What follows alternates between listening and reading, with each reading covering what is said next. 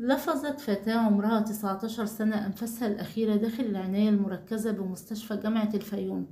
أثناء محاولة إنقاذها من ذبحة صدرية حادة أصابتها قبل حفل زفافها بساعات كانت أسرة العروس وتدعى آلاء خميس علي الروبي وتبلغ من العمر 19 عام. مقيمة بنجع العزوبة التابعة لبندر أقصى بالفيوم قد شعرت بآلام حادة بمنطقة الصدر وذلك أثناء تجهيزها لدى كوافير حريمي. استعداد لليلة التي تسبق زفافها على عريسها اليوم الجمعة بقرية سنوفر التابعة لمركز الفيوم. يقول محمد رجب ابن عم العروس إن ابنة عمه ذهبت لمحل كوافير بالفيوم استعدادا لزفافها اليوم الجمعة حيث كانت تتزين لليلة الحنة أمس الخميس وبعد ارتداء الفستان الأبيض ووصول عريسها محل الكوافير وقعت على الأرض.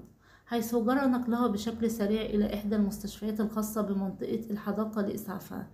لكن فشلت جهود الأطباء في إنقاذها ورغم ذلك جرى نقلها إلى مستشفى جامعة الفيوم حيث أكد الأطباء جميعهم وفاتها. وأوضح أن ليلة الحنة تحولت إلى ميتم حيث اتشح النجع بالسواد. وقال حسين صلاح مدرس إن العريس ويدعى إسلام ياسر رجب ابن قرية سنوفر.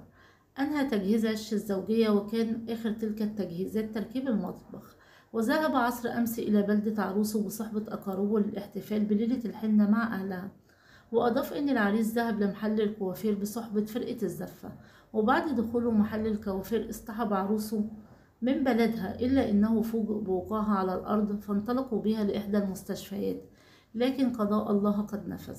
شيع الآلاف من أهالي مركز أقصى عقب صلاة الجمعة جثمان العروس بعد أن جرى نزع الفستان الأبيض من على جسدها وتبديله بكفن وسط حالة من الذهول والحزن التي كست جموع المشيعين.